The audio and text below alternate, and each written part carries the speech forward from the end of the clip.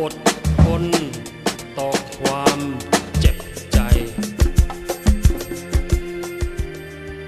ไม่หวั่นไหวต่อความยากลำบาก ไม่มักมากในลาบผล มุ่งบำเพ็ญตนให้เป็นประโยชน์ต่อปวงชน ดำรงตนในยุติธรรม กระทำการด้วยปัญญา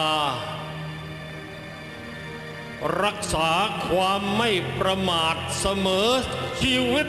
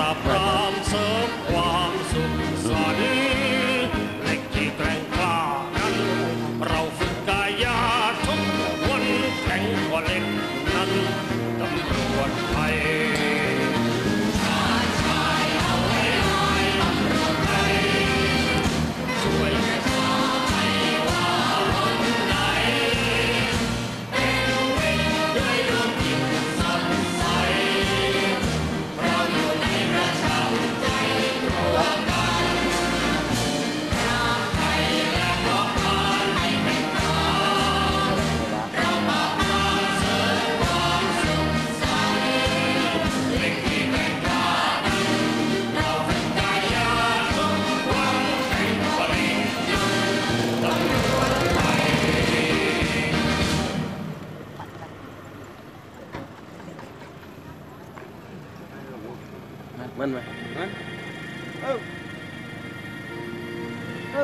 เคารพเอื้อเฟื้อต่อหน้าที่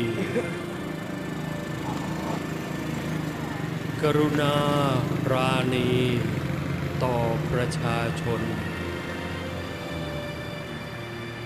อดทนต่อความเจ็บใจได้นะ